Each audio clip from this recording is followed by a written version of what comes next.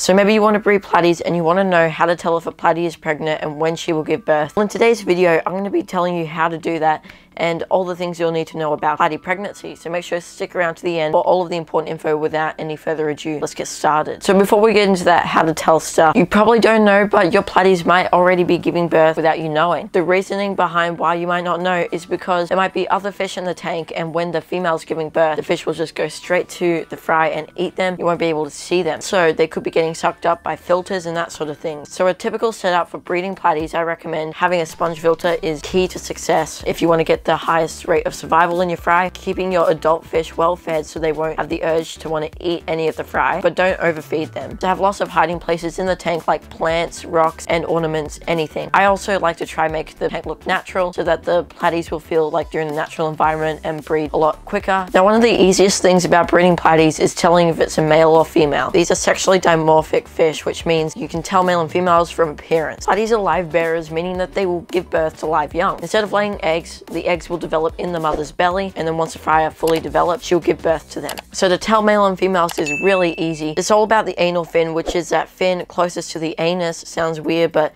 it is. That's the anal fin. Females will have a triangular fanned out anal fin, whereas males will have a stick-like anal fin called a gonopodium. Pretty easy to tell. While looking at your female, she might be fat and you think that she's actually pregnant. But before you do think that, you need to make sure though that you look at her from above, make sure there's no scales sticking out. If there are scales sticking out, kind of like pine coning, then that means she probably has dropsy, which is an untreatable disease and will most likely kill the fish. It is a very unfortunate disease and you might have to just try instantly kill the fish by using clove oil or something like that to get them out of the misery before they have to suffer the pain. So the gravid spot is how you can tell if your platy is pregnant. So the gravid spot is that little dark spot near the belly. I'm gonna put a photo on the screen of where exactly it's located. That'll be a lot easier to tell. In that circle is the gravid spot. All platies will have that. It might be visible, it might not be. So if you have a black platy, this can be hard to tell. So you just gotta use your instincts. But if it's visible and you can see the dark spot, that's basically the baby's eyes and they're developing inside the mother. That means that she's pregnant. And the darker the gravid spot, the sooner she'll give birth. If she has a dark gravid spot or a developing gravid spot, then she's probably pregnant. Now to tell when a platy will give birth is also a really easy process. So if the gravid spot is a bit pink, it's got a few black dots amongst it, that probably means that she's a few weeks away and it's going to take a few weeks for her to give birth. But then if it is almost all black, but like a light sort of black, then that probably means that she is one or two weeks away. And then once it's really dark and you might even be able to see movement, but it's just super dark and rich black color, that probably means she is very close to giving birth. Some other signs if a platy is ready to give birth, the female will start breathing heavily, so she'll go to the surface, not taking gulps, because that's a bad sign. That means there's not enough oxygen, but she'll go near the surface or away from any other fish, and she will breathe heavily. Basically, she's stressed out and getting prepared. If the males are trying to get right under to where she poops out, which is where the fry are going to come out, that probably means that they're waiting for those fry to come out because they know it's very soon. That's